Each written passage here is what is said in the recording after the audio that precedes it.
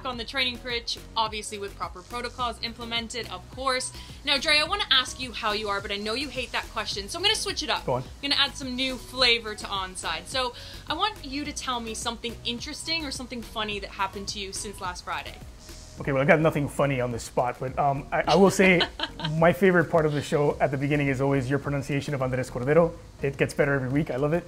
Um, that aside, I think I'm collecting hobbies, honestly, is what I'm doing with my time off. Like, I picked up cycling pretty early on, and uh, now I've picked up photography. So I think I'm in the process of becoming the Renaissance man and trying to come out on the other side of this thing a little better.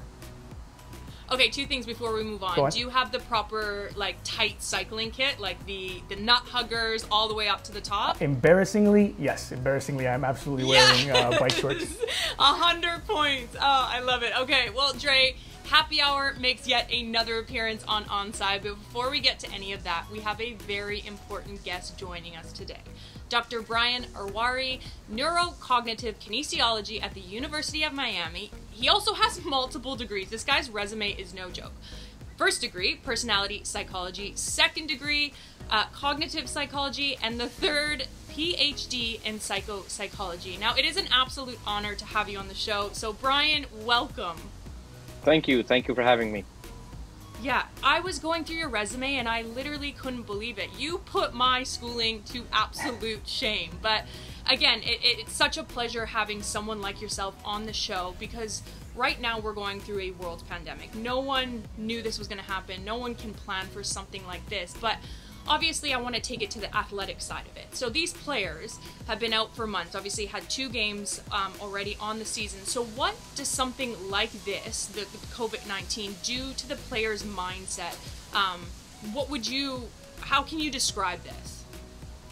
Well, I think there's there's like multiple levels of analysis, right? So one is uh, just uncertainty, right? Nobody knows what's going on, and how long this is going to last.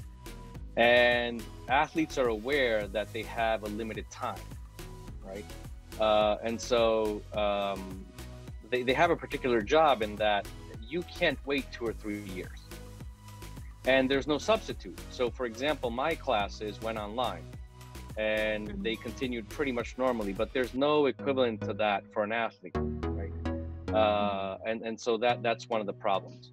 The uncertainty of when you're going to come back, the uncertainty of uh, just general being healthy. You know, the number one job for an athlete is is to be healthy, mm-hmm. and so that's that's another level too. Um, Dr. Arwari, thanks again for joining us. I just I'm curious. Uh, MLS was suspended, Major League Soccer suspended after just two rounds very early on. And so you talk about players who are losing time, but they do have a short career. But in many of the cases, it's young players who have just changed clubs. They're at a new team, they're in a new city, they're essentially starting a new life.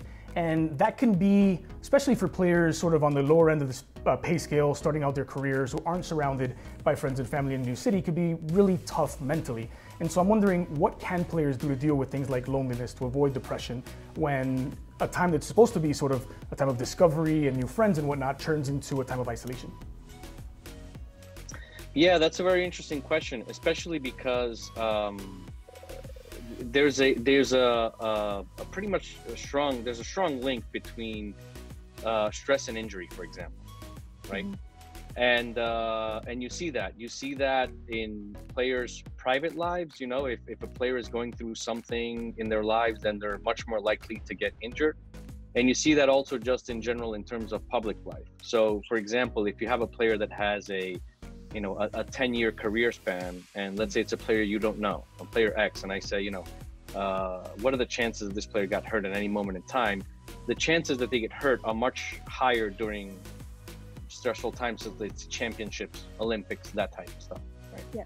And so moving and changing teams especially for a young person is, is a stressful moment in their life because they're changing their life they're changing their career path in a certain way and now they're blocked they're kind of interrupted in this thing. And it's a it's a new world and and there's not a formula for that right? Because they can't reach out to a peer and say hey when you had to be stuck for a pandemic what did you do? Right? There's no mentorship there's no guidance. It's uh it's it's a brand new world for everybody Now, Brian, I have a, a, question for you. Obviously, I was a player and I never really believed in the mental side of it until obviously our national team started getting successful. We won bronze in the 2012 Olympics. And our psychologist, we actually had a psychologist that worked with the All Blacks uh, the New, in New Zealand. And it completely changed the way that I went into training. It completely changed the way I went into games. Um, and it, it completely changed how it was playing. So there was, we had like red head and blue head triggers, how to get out of a dark time in a game. Now, these players are sitting at home, like Dre said, some of them without family members. So someone like yourself, how important is the mental side of it to prep coming out of the other end of this COVID-19? Um, uh, extremely right and uh, mm-hmm. obviously you know i'm biased and so i would say that maybe even more than the physical because a lot of times the physical yeah. is easier to recover than the mental mm-hmm. right um, and um, there, there's traps that people fall into and you know there, there are too many to go into but one of them is um, we call eternalizing the present people tend to think that the way things are that the way things are going to be forever and you know uh, we're all guilty of this everybody does this. When things are going great it's going to be like this forever. This is awesome. And when things are going bad it's going to be like mm-hmm. this forever. This is horrible. Um, you know just think of the covid situation. Right before it seemed like you know the economy was going great and everybody was you know this is going to ha- this is going to go on forever. And mm-hmm. again right now the mental state is just going to go on forever. And so there's a bunch of mental traps that people fall into. So i think the first step is just getting educated on one of what are the mechanisms that people fall into mm-hmm. you know I, I, compare that to kind of like you know when you when you read a book and you have that thought of like you read a line in a book you say like that's what i thought i just never somebody else put it into words for me mm-hmm. and so you can come to a few realizations if you do that and if you start looking for these things you start to realize that you you do these things and you you fall into these traps and mechanisms and, and that could help you get out of it you know there's a actually a, there's a concept that I couldn't put into words that my sort of research for you of you did. That's uh, psychophysiology. Like I've always been fascinated with that aspect of sports, but never had a term for it. Never knew sort of where that studied. I know that's an area of expertise um, for you. And so athletes often describe being in the zone, that moment of extreme focus. And I'm wondering if we know more now about sort of what's happening in the brain that, that sort of accounts for that phenomena. And just to tie this a little bit to the pandemic and to the COVID-19 um, uh, crisis, when sport does return, it looks like it's going to be at least temporarily uh, with no fans. And so I'm wondering how that has an effect on um, that that feeling of supreme focus. Uh, you know, beneficial in the sense that maybe eliminates some distractions, detrimental in that maybe it eliminates some motivation. So what's your take on that? You know, they, they kind of overlap in a way. So mm-hmm. uh, let's start with the last question first. So, um, you know, normally there's a home field advantage. And uh, the home field advantage, you have to, if you think about it, it has to be attributed to fans, right? Because, you know, let's say, let's take a soccer field, it's reglementation size everywhere. And so the difference is, are the fans, but they're not allowed to touch the ball. And so what did the fans do for you? Well, they, they, they cheer, right? That they give you uh, what, what uh, we call uh, a boost in arousal, right? And think, think of arousal as physiological activation right? Mm-hmm. Uh, so you have the volume knob and how high you turn on that knob, and um, and that can help people or hurt people to get into the zone depending on kind of what type of sport you're doing and what type of person you are. So let's go with the sport route. Yeah. Right? Um, in soccer, it definitely almost always helps. Um, you, because you can you can kind of parse this out and say, well, if cheering fans help you, why don't we use it for important things? Right? Why don't we have uh, know, 30 people going through in, in, an operating room and scream at the surgeon yeah. when he's cutting? Right? Because that's, you know, that's counterproductive because that activity requires kind of like calm levels, right? And so being in the zone is when you could kind of like turn all the knobs to their optimal level in terms of what's the arousal set point that you function better at? What's the physical activation that you function better at? What's the muscle tension that you function? And it could be different for each person, right? So some people have a, let's say, a, a game ritual where they'll go into a corner and they'll put their headphones on and they'll listen to like, you know, battle music. And some people just go off into a corner and meditate Yeah. And so it's it's different for everybody. But we do know what happens because we have these amazing machines now where it's uh, think of like a shower cap that you could put on a person that has embedded electrodes. And we could we could see the activity in the brain. And so we can know when the brain is functioning at optimal levels for that person. Mm-hmm. and the cool thing is that then you could train that person for that. That's fascinating. Yeah it's so fascinating. And it's funny that you did say that because we actually used to train our brains uh, with a video game. So it, it, to help us stay really focus and, and in Bluehead that's what we called it on our national team. So that was kind of like the running joke uh, in game. So i want to ask you obviously it's a group of 20 to 24 different personalities different players like you just said that react differently to in game so i guess moving forward if these games are end up playing behind closed doors what are three things that you would say to these group of players just to keep them mentally focused and mentally on task? I'd say that um you you have to recognize that uh, that uh, we're in an evolving situation, right? Mm-hmm. Because a lot of times, just thinking about why isn't the thing the way I want it to be keeps you is one of those traps, mm-hmm. right? And you don't realize that the different thing or the new thing, you know, is not as bad as you thought. But as long as you keep referencing it to, yeah, but it's not what I'm used to, and I think the problem with with uh, athletes, especially, this is true for everybody, but athletes especially, they're athletes for a long time. And what I mean by that is that you know, if you're an athlete, you probably started when you were a kid, and mm-hmm. so that's all you know. And also, you're an athlete 24 hours a day, right? If when I come home from work, I could sit on the couch and I could, if I want, I could eat a bowl of junk food. But an athlete can't do that, and so you identify with what you do. And the fan and the fan relationship is a part of that. And so playing in an empty stadium is is you have to adapt to that to that new reality. And then also part of it is the expectation. You know, a lot of players had the dream of this is what they wanted when they grew up, yeah. right? You know, you know, you're eight year old boy, you fantasize about you're gonna walk out there and people are gonna cheer and it's gonna be awesome. And walking out into an empty stadium is, is not the same. Right. Um, and uh, and then I, I would kind of go back to the point of you try to be mentally flexible in you have to you're gonna have to adapt to different situations. Mm-hmm. and uh, and just kind of make your peace with that. Um, and yeah go ahead sorry. No no no keep going. Sorry for interrupting no, no, that's it. Uh, you make your peace with that because a lot of time, energy is spent on resistance to change. And if you mm-hmm. can in, embrace it, even if it's not the thing you ultimately want, right? Then then that that gets you somewhere. So I actually want to so interesting. I want to shift this a little bit into uh, fans, away from players for a moment, because I've always thought of sports as maybe like the ideal area to study cognitive science. So it, I'm very curious. I, I, love having you on here because actually I'm as excited to talk to you about this as I would be to talk to any player about soccer. I, this area fascinates me. And you're allowed to commit sort of cognitive biases in, in, in sports that in other areas of society we just we think you were crazy or you were an outcast. We would lock you up basically, uh, down to the war paint and the war drums, um, especially speak, speaking specifically about soccer. And so I'm wondering, what is it about sports that made it the area where you wanted to um, involve yourself in cognitive study? What was the attraction of sports itself?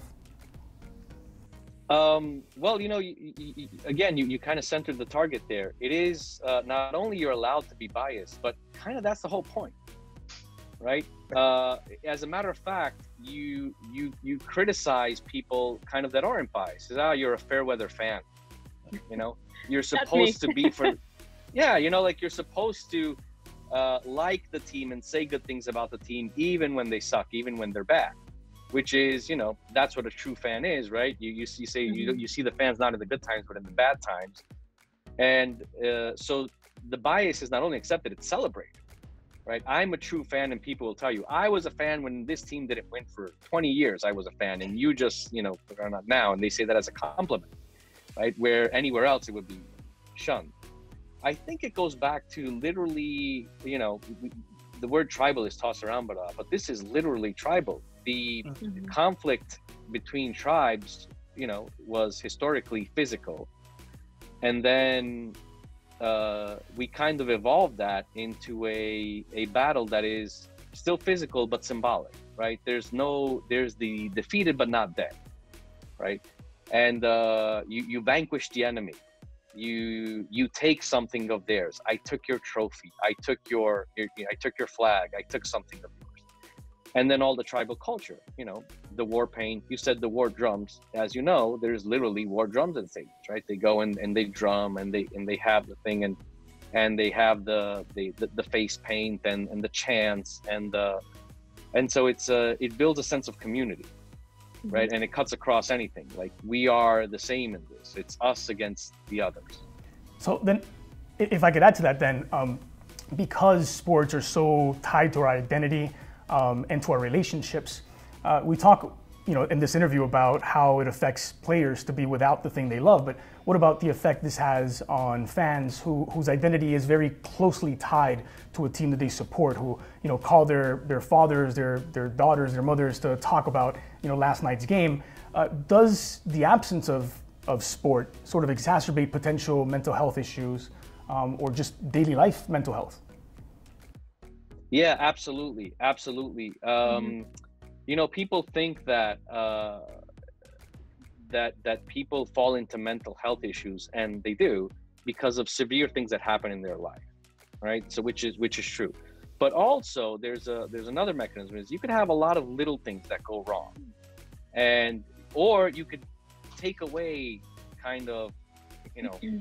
pressure valves that people normally use to relieve pressure in an acceptable way Mm-hmm. And if you can't do it that way, then you kind of internalize it. Um, yeah, and and it's and, and not only it's it's for them uh, personally, but interpersonal relationships, as you were saying, they call their dads, and mm-hmm. so you know, depending on geography, but and depending on the sport, but a lot of times the number one predictor of uh, what fan, uh, of, of, what club uh, you're a fan of is, you know, where you're born and what your parents were a fan of right? It, it's just familiar. Mm-hmm. And so not only I take away your opportunity to watch the game, I take away your opportunity to talk to your dad about it, to talk to your cousin and your brother about it. And a lot of times those are the, you know, those are lines of communication that people have. Um, you know, it's uh, the Louis Armstrong line when he says, uh, I see friends shaking hands and saying, How do you do? And they're really saying, I love you, right? when people talk about soccer, it's a proxy for, you know, I'm, I'm talking about you and we're shooting the breeze and we're keeping our relationship fresh and we're exchanging ideas. It's a channel. It's it's it's a way that people can channel their emotions, mm-hmm. especially men, right? Men aren't really good at sharing emotionally, and so it's a way that's okay for men to to communicate openly. Brilliant. Uh, well, Dr. Arwari, it was an absolute pleasure having you on the show. I wish we could speak to you for hours. I'd love to grab a cup of coffee with you or chat with you after a match because you were so interesting and so intelligent. Uh, but thank you again for coming on Onside. Thank you. Thank you for having me. All right, now don't go anywhere because when we come back, I mentioned that the players are back on the grass. But what are the protocols that are allowing this to happen? Stay tuned.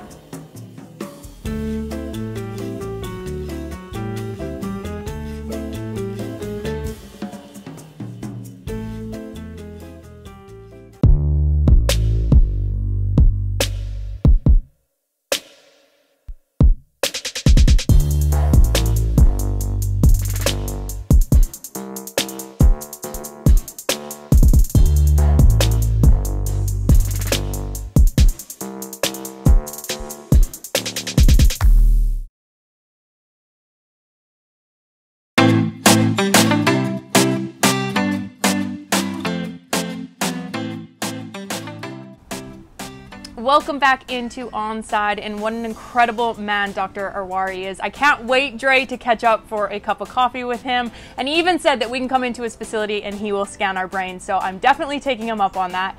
Now, we've all seen on the Inter Miami CF digital channels that the players are back onto the pitch, and we've got Robles here to tell us just how it's been coming back into monitor training.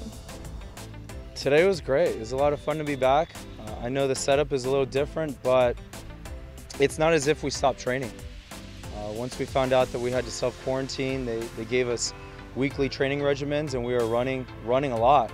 Um, so what today provides is just a safer environment for players to come and, and sort of see each other from a distance but continue to train and, and work hard as, as we gear up for the season. Yeah, the process has been a long one. Uh, a lot of conversations with the league, a lot of conversations with local governments, because the league understands that there's there's a bigger thing at hand and they don't want to disrespect in any way while also maintaining a competitive environment for players and and so I felt like they've been very meticulous. Um, it's been a very long process, but nonetheless, here we are, we're on the field. And I know not, not all the teams are training around the league in this capacity, but it's not a matter of if, it's just when. And hopefully with each passing day and each passing week, more teams are able to utilize their outdoor facilities. Now, I want to walk us all through the actual protocols and procedures that are taking place to make the return to training happen. Number one, access to the actual facility is prohibited. Fields are divided into four quadrants. All equipment must be sanitized and cleaned after each use. All players must complete a standard assessment prior to arrival. Temperature checks upon arrival as well. Players must use prote protective equipment to and from the fields and to and from the vehicles. So, Dre, loads of protocols, loads of procedures, yeah. but the main thing is is these players are back on the training pitch and back kicking a ball around. Yeah, to be honest, seeing this was like visual ASMR for me, right? Uh, just so, my, I think my OCD acted up, uh, seeing how organized and how like neat everything is, where players are mm-hmm. essentially training in like one quarter of the field, and it's also standardized so mm-hmm. um, organized that it was just almost artistic uh, to see. I think uh, to tie this into the conversation we had in our first segment, players are sort of ritualistic. They're they're used to their their um, the rituals before training, before games, um, and I think for a lot of them, just putting on the training top, putting on uh, the cleats again, and stepping on uh, the training grass is going to be a huge, huge boost uh, to their morale, just to, to, feel like a player again um, is going to be a big deal. Mm-hmm. Yeah, it's, it's a huge deal. I mean, a lot of people are saying uh, a shorter preseason for return to training. Unfortunately, you can do all the fitness you want, but fitness on the field with a ball, with the grass is completely different. I talked to a few of the players after returning to training sessions that almost individualized training sessions, passing of the ball and, and the social distancing. They said that they were exhausted because, like I said, you can run in your house, you can do as many push ups as you want, but football fitness is completely different than going for a 40 minute run. So it's just great to see the players back. And Inter Miami have done a brilliant job. The schedule that's been sent out of players of what time they need to come in. Uh, which locker room they need to use, which parking lot they need to use. It's every little detail that hasn't gone unnoticed, and every rock has. I mean, they've just been incredible. It's good to be to, have them back on the pitch. To be honest, it means that we're a little bit closer uh, to getting soccer back in our lives, um, and I'm sure they appreciate uh, the, the, chance to train with their coaches again. Just that, that human interaction once more, even if it is on a very limited basis, will be a really big deal. Uh, Kaylyn, but if we could transition, because we've been talking about sort of how training changes um, as players get back into camp. But the game could change as well if and when mm-hmm. or when it gets back underway. Um, and that is maybe more relevant to European soccer at the moment than Major League Soccer, but I wouldn't rule it out for our league either because there's been a lot of talk about uh, what was just approved last week by the International Board in the UK, which is the use of five substitutes in game. And I think actually this is a fascinating um, amendment really to the rules because it's not intended to be a permanent rule change. It's intended to be to deal with the condensed schedule, the short schedule that so many of the European leagues mm-hmm. will have as they try and wrap things up by the end of June. It seems almost impossible. And so there's so much of a tax on the legs of the players at that uh, mm-hmm. with that regularity of playing that uh, the international board decided to, to throw out the concept of a five substitution game. And the really interesting thing here is that you would think, well, five substitutions, that's a lot of time wasting. People use that tactically for the purposes that are not intended. Uh, but there was a stipulation in, the, in that rule change that all five subs have to be made within three in game instances. And I think it's the unintended consequences that I find fascinating about this, like how managers will use it in order to uh, maybe have a, higher press game or less of a press game, whether mm-hmm. teams swap out most of their back line or their entire front line leading games when they need to catch up. I think this adds uh, a little tactical wrinkle to the game and how these substitutions would be used that I find fascinating. Yeah, it is fascinating. I remember uh, I got asked this question on air the other day, and at first I was against it. But then you look at all the games that they're going to need to cram in together, especially in the MLS, the travel. They haven't even got to that yet. How are they going to travel from West Coast to East Coast? But the, the, t- the toll that that takes on players is immense. The recovery and the rest is huge. So, at first, I was against it. Now I'm kind of for it. But like you just said, tactically, does this change the game? Mentally, does this change the game? Keeping players mentally focused on the bench because, uh, like you said, three subs usually. So what about those other two subs that may not get used? Mentally, they're going to have to be change. There's just so many moving parts. So, but Dre, at the end of the day, if football kicks off, I am going to be the happiest fan and the happiest ex soccer player in the yeah. world. I miss it so much. So one of the things that I think will be really interesting is this is meant to sort of ease the the wear on the legs of players that they're playing, um, you know, every two days or every three days. But this could also, I think, speed up the pace of the game because you can see a scenario where a team hasn't used any of their substitutions sure. in the first half. So they're going to use five subs in the second half. Virtually half the team, half the field players are going to be swapped out at some point, and you can do a 2 2 and 1 situation where it keeps the pace going uh, late in games in a way when, when games tend to slow down a little bit. And I just, I, I, wonder what that experience will be like. I'm, I'm, fascinated to see because I think it'll be a, a really good um, adaptation, at least in the short term, for a lot of the European leagues. I wonder with Major League Soccer, because there's a bit more time uh, left before the season is supposed to be finalized, whether it'll be a necessity, but it's interesting nonetheless. Now people just have another thing to complain about. You got VAR, you got refing, you got five substitutes, and I will be for sure one of those complaining about it probably on social media at the end of the day. But as long as player safety is the, is the number one concern, their return to training, everything's done with proper protocols. And like you touched on, or Robles touched on, Inter Miami has been lucky enough to return to training. There's some clubs that haven't returned to training. Minnesota United still haven't returned to training because the governor hasn't lifted the mandate yet. So at least the guys are back in. They're getting that football fitness in. They're getting touches on the ball. They're getting social distancing, but socialize again around their teammates, which is huge mentally for them just to just to interact with someone. A lot of these guys, like the, the doctor had said in our first segment, that they come from different countries, that they have no family here. A lot of these guys may be single that don't have girlfriends or wives or, or whatnot that have been self isolating by themselves. So I'm sure the first day rolling up to that training, I can't wait to get over there and interview these guys of, of what their first mindset was stepping onto that pitch and, and seeing the guys because I'm sure like you talking to the doctor, it was like Christmas morning. They were probably just beaming. Yeah, it's only a matter of time. Um, we're, we're counting the days, we just don't know how far we have to count. I know. All right, now don't go anywhere because it's 5 o'clock somewhere when we come back and Onside returns to a few cervezas.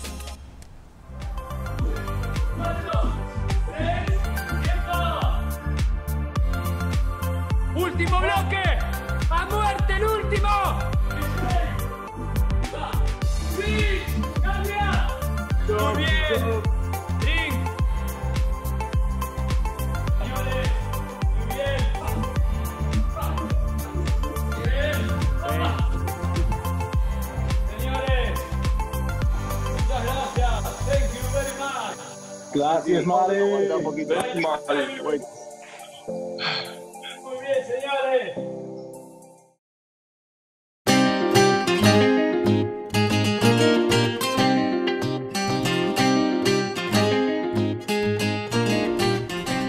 Welcome back and welcome to Onside Happy Hour. Now, I've kept something from you the entire show, but we have another special guest.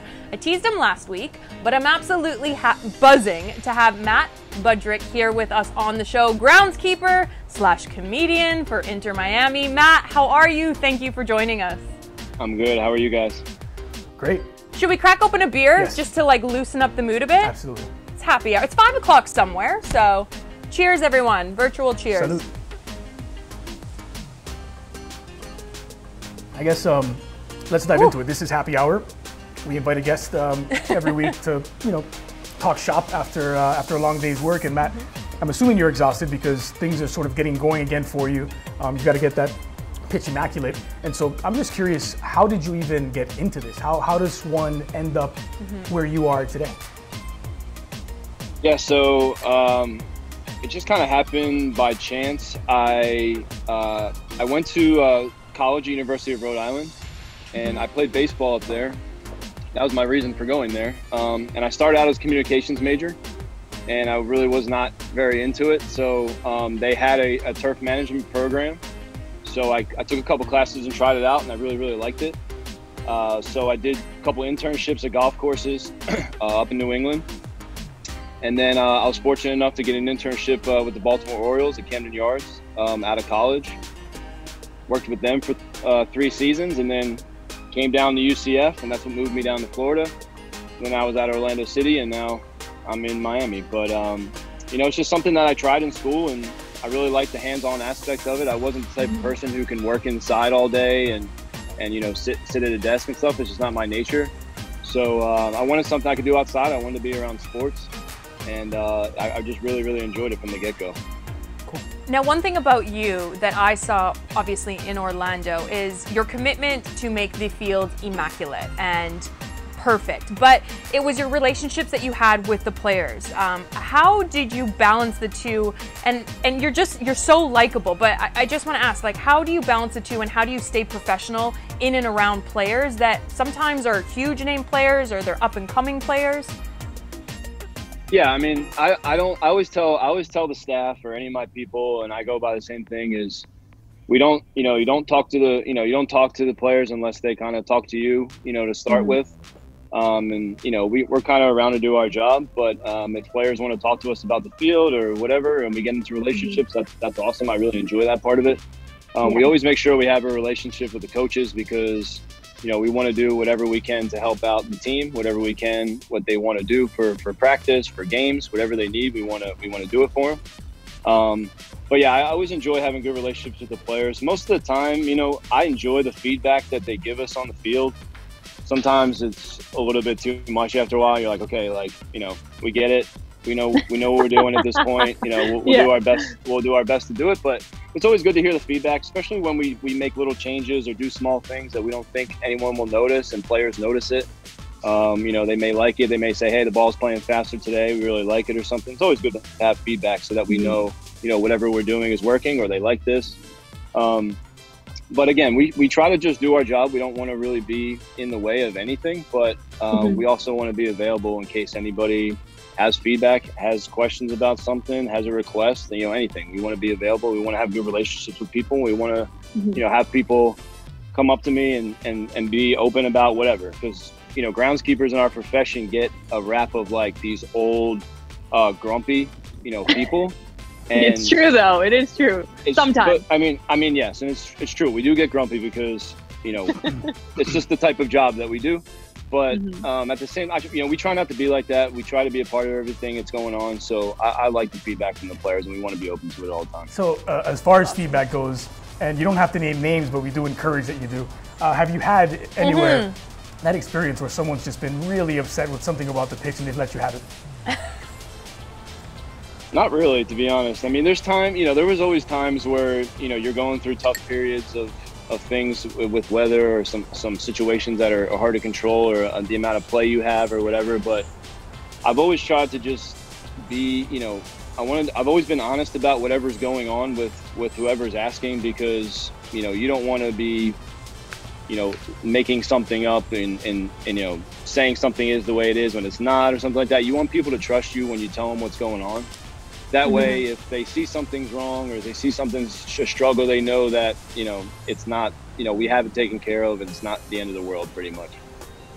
I feel like you played that really safe. There's got to be someone that literally complained about everything. David Beckham is practically blowing up his uh, his text messages right now. Yeah. No, no, no. Honestly, honestly, God's been great, and and it's been it's it's. I know, I, I know you want me to, to say that, but No, honestly, it's no. been No, no we don't. my big my biggest problem is always goalkeepers, just because of what they do um, Yeah. to the field and stuff. But Right. but everyone's always been really really good about everything. I think if you talk to people the right way, and uh, the, the other thing I always tell my staff is that we try to have our expectations of what we're doing higher than than the team or anybody else's. That way, you know, we don't have any issues with something not getting done or something not being the way the team wants to be. So. I always feel like if you keep a, a high standard to things, you, you leave a lot less room for people to complain about things. So I don't want to hear complaints. I don't want to, you know, I don't want extra people, you know, in my ear about things if we don't have to. So we try to just do everything, you know, top notch from the start to not have any issues.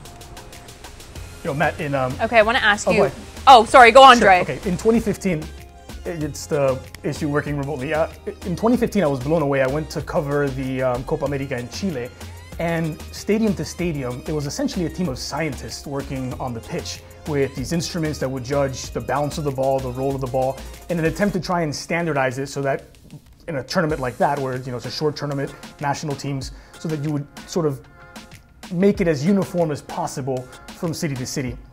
How much sort of science goes into what it is that you're doing? How much you know measuring in order to kind of perfect, you know, millimeter perfect um, the, the work that you guys do on the pitch? Yeah, a ton. I mean, that's the one thing people don't understand. Uh, you know, it's most people think that we, you know, just paint, cut, um, you know, just keep up with things and you know, it just stays the way it is. But there's obviously way more that goes into it. There's a lot of science. You're you got to be a meteorologist with the weather. You know, you got to do a lot of soil work. Um, obviously, you're growing the grass, um, but a lot of chemicals that are involved with what we're doing, fertilizers involved with what we're doing. Um, you know, there's also a big side of it of being responsible, you know, with the environment. That's the type of job we're in. That we try to use more organic type of fertilizers. We try to to reduce the amount of uh, you know pesticides and, and fungicides and stuff we're using until we absolutely have to. Um, so there's a there's a ton that goes into it. It's a big time science. I mean, calibrating fertilizers and making sure you're spraying the right chemicals at the right time. You know, timing is everything, and that's the most difficult part of this job. Everybody's using the fields all the time. We got a, we got a really aggressive schedule in the stadium. We have a lot of training. We have a lot of uh, academy groups that are training. So so people are on the fields, and that's what they're there for. So it's it's hard for us to try to find the time in between what they're doing. You know, in between the weather, in between the rain, in between the wind, all these conditions to try to find the right times to do the right things. And I think that's the most important part of the job is knowing the right time to do the right thing. Mm-hmm. Mm-hmm. If you Well, don't Matt- do that, if you if you have issues with that, that's when you get into bad timing spots and you really really have issues with a, a, a tough schedule because because soccer training is, you know, it's every day. Yep. It's very you know it's all the time. These guys are always on the field, so it's it's it's difficult to try to find time. So, uh, Kaylyn, I think this is officially the smartest show that we've done so far of uh, uh, onside. Um, I, I guess I'm not gonna lie, I feel useless. Like I literally thought that I was reaching and peaking at all my goals, and I literally like, no, not at all. The two guests we had on today, I'm like, wow, I got work to do. So I, I guess the last question from, from me for you, Matt, is you know, given that you got into the game relatively late and it, and it was through this through actually working uh, on the pitches, what what do you like about soccer? What is it that, that really attracted you to to it beyond just the professional level? I like the day to day training. I like watching training day to day. Um, I think that stuff's really interesting. I think it's, I really enjoy watching the coaches and how they prepare for things. Um, our coaching staff here in Miami has been has been awesome to watch how they do things. It's been pretty incredible. Um, it's a really really good staff there. So um, I really like to learn that way because again, I'm still I ask questions every day about things that I still don't understand about the game, but uh, but I understand what they like now for a surface and you know, besides that, that's all I really need to know. And then after that, I'm just learning as, as I go with the actual game. Yeah, Matt, this is why you are one of the best in the business. I will be the first and definitely not the last to say that. Uh, you are fantastic, and it's because you genuinely love your job, you love what you do, and you're invested in learning and growing with the sport. So, first off, thank you so much for coming on the show, and we definitely need to catch up. I've been saying this to all my guests, but I'm like so intrigued. We need to catch up for a beer once this coronavirus is gone. Um, so, hopefully, that is soon. I know. I hope so too. Thanks for having Uh, me. thanks for coming on. No problem.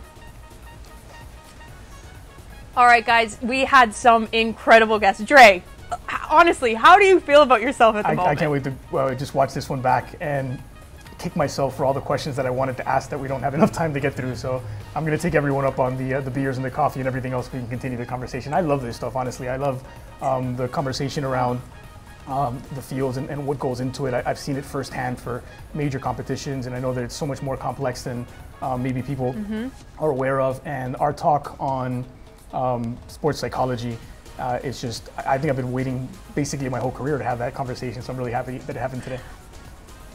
I was gonna say, Dre, I can't wait to watch the show back just to see your face because you were definitely the kid that comes down Christmas morning with smiling like cheek to cheek. But thank you everyone for tuning in. Dre, once again, absolutely fantastic show with you. I can't wait to get onto that pitch that Matt's created for the team and pitch. for us. I promise I won't wear heels on it, but um, yeah, stay tuned for another uh, episode of Ons- Onside coming next week.